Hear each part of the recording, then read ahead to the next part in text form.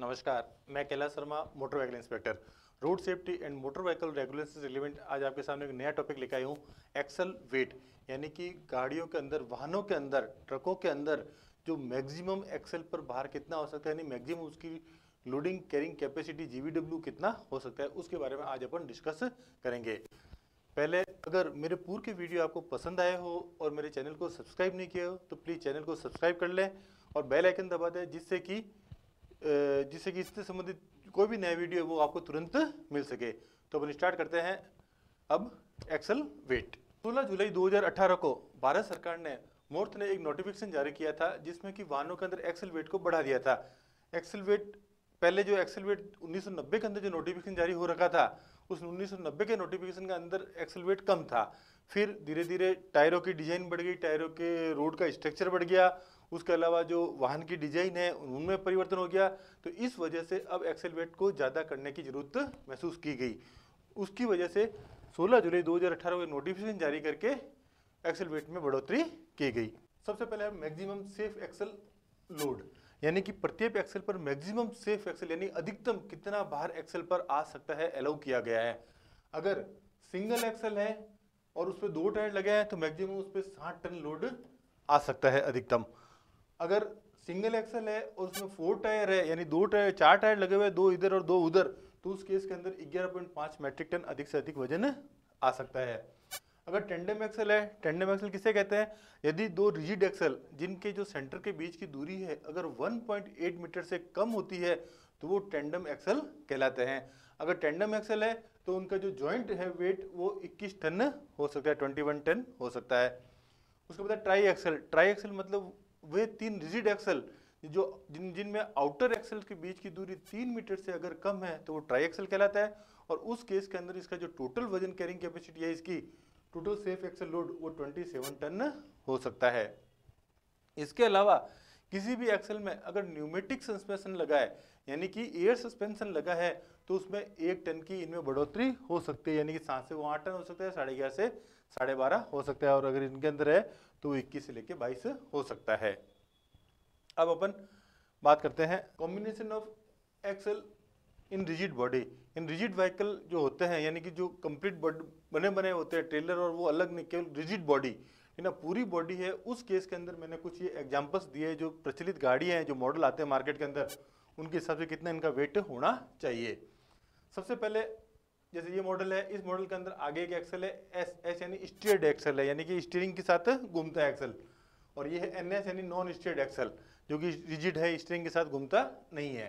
तो इस केस के अंदर इसमें दो टायर लगे हैं तो इसमें साठ टन हो जाएगा मैक्सिमम सेफ़ एक्सल लोड इसके अंदर चार टायर लगे हैं तो सेफ़ एक्सल लोड हो जाएगा साढ़े ग्यारह टन। यानी कि टोटल हो गया साढ़े अठारह टन। यानी अठारह हज़ार पाँच सौ किलोग्राम अधिकतम सेफ़ लोड ये कैरी कर सकते हैं। इसके बाद ये मॉडल है, जैसे इसमें आगे सिंगल एक्सेल है और दो टायर लगे और स्ट्रेट व्हील है। इसके अंदर पीछे दो एक्सल है और इनके ऊपर चार और चार आठ टायर लगे हैं। चार इस एक्सल पे और चार इस एक्सल पे और इन दोनों के बीच की जो दूरी है, वो 1.8 मीटर से कम है।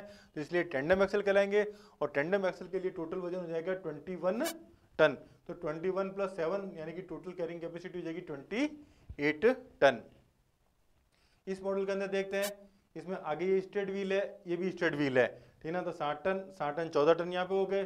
पीछे है वो वो टेंडम एक्सेल है, दो एक्सेल का। कॉम्बिनेशन है रिजिड एक्सेल का। तो इस केस में 21 और चौदह, यानी कि 35 ton maximum safe axle load ये कैरी कर सकते हैं। अब जैसे ये मॉडल है, इस मॉडल के अंदर ये स्ट्रेट व्हील है, दो टायर, ये भी स्टेयर व्हील है, दो टायर, यानी कि साठ टन इसके हो गए, साठ टन इसके हो गए।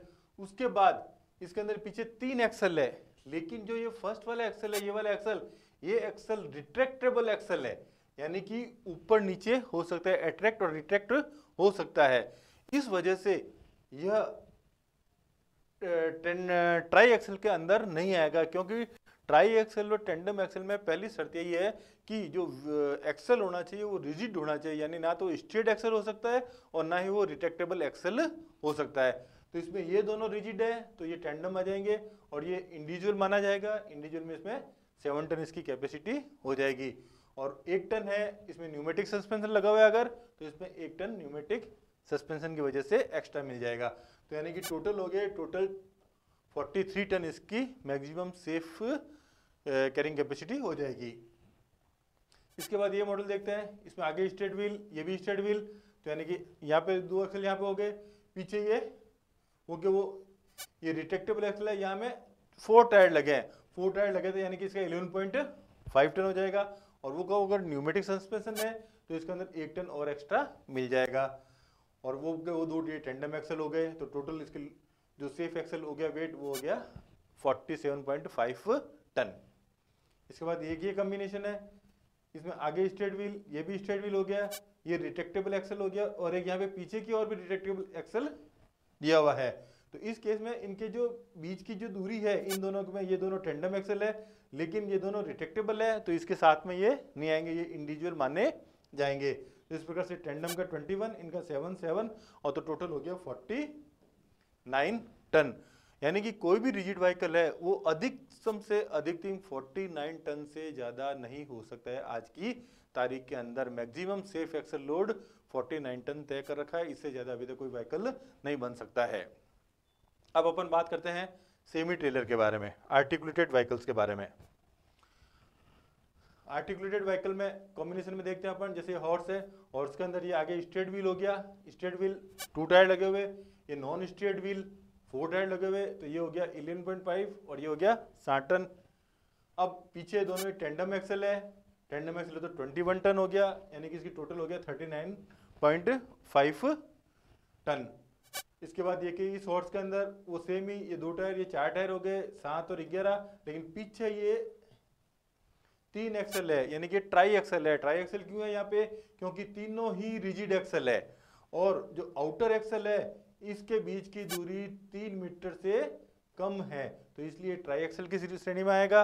ट्राई एक्सल हो जाएगा तो यहाँ पे इसका 27 हो गया। 27 प्लस सेवन प्लस इलेवन ये हो गया 45.5 ton maximum safe axle load carry कर सकता है। इसके बाद एक ये कॉम्बिनेशन है, इसमें आगे स्ट्रेट व्हील हो गया, ये दोनों टेंडम एक्सल हो गए तो 21 टन हो गया 21 प्लस सेवन ट्वेंटी टन तो यहाँ पे हो गया, और पीछे भी ये ट्राई एक्सल है तो ट्राई एक्सल में 27 यहाँ पे हो गया तो टोटल 55 टन्स कैरिंग कैपेसिटी हो जाती है। इस जिस प्रकार से रिजिड व्हीकल के अंदर 49 टन से ज़्यादा नहीं हो सकता है, उसी प्रकार जो सेमी ट्रेलर है आर्टिकुलेट ट्रेलर है, उसके अंदर 55 टन से ज़्यादा नहीं हो सकता है। अपन यहाँ पे जो मॉड्यूलर पुलर्स होते हैं, उनकी बात नहीं कर रहे हैं। अपन सिंपल रिजिड ट्रक और जो सेमी ट्रेलर है, उनकी यहाँ पे केवल बात कर रहे हैं। उनके लोड की जो कैरिंग कैपेसिटी है, वो अलग से दे रखी है, क्योंकि उनमें मल्टी एक्सेस लगे होते हैं और उसमें मल्टी टायर्स लगे होते हैं। उसके बाद है, मैंने एक एग्ज़ाम्पल लिया है। जैसे कि आपको पता है कि पहले जब, जैसे एल पी एस चालीस अठारह गाड़ी थी, ठीक है ना तो सबका वही था फिक्स था कि एल पी एस चालीस अठारह गाड़ी है, इसकी जो जी वी डब्ल्यू होता था वो चालीस दो सौ होता था, बाद में जब नोटिफिकेशन बाद बढ़ गया तो पैंतालीस पाँच सौ की श्रेणी में आ गया। लेकिन आज के समय में एक ही मॉडल के कई वेरिएंट हो सकते हैं। ये डिपेंड करता है कि उसमें कितने एक्सल लगे हैं और उन एक्सल के ऊपर टायर कितने लगे हैं। क्योंकि जो मैंने अभी बताया है, ये मैक्सिमम सेफ़ एक्सल लोड है और ये डिपेंड करता है टायर साइज़ के ऊपर। यानी तो साथ में टायर साइज़ भी बहुत मस्ट है। जैसे एक उदाहरण देखते हैं अपन, ये Tata L P T four nine two five एक मॉडल है टाटा का, ठीक है ना? इसके अंदर टोटल ये पाँच वेरिएंट आते हैं। यानी कि ये व्हीकल फाइव वेरिएंट के अंदर पास हो सकता है, इसका जीवीडब्ल्यू हो सकता है। पहला 49 टन, दूसरा 47.4 फिर छियालीस छः सौ अस्सी, पैंतालीस, नौ सौ साठ और 45 टन। ये पाँच वेरिएंट में व्हीकल सेम है एक्सल सेम है, ठीक है ना? लेकिन फ़र्क क्या है? कुछ के अंदर डिटेक्टेबल एक्सल नहीं है और कुछ के अंदर उसकी टायर साइज़ में फ़र्क है। इसलिए ये वेरिएंट में फ़र्क है। तो इसलिए जब भी आप कोई भी डीलर है, गाड़ी बेचता है तो सबसे पहले उसको 21 नंबर फॉर्म में जो उसके जो प्रोटोटाइप है टैक है, यानी कि जो जो टैग का मैंने एक एग्जांपल दिया है, इसके अंदर कितने उसके वेरिएंट है और किस वेरिएंट का वो मॉडल है, उसी के अनुसार उसका 21 नंबर फॉर्म दिया जाना चाहिए।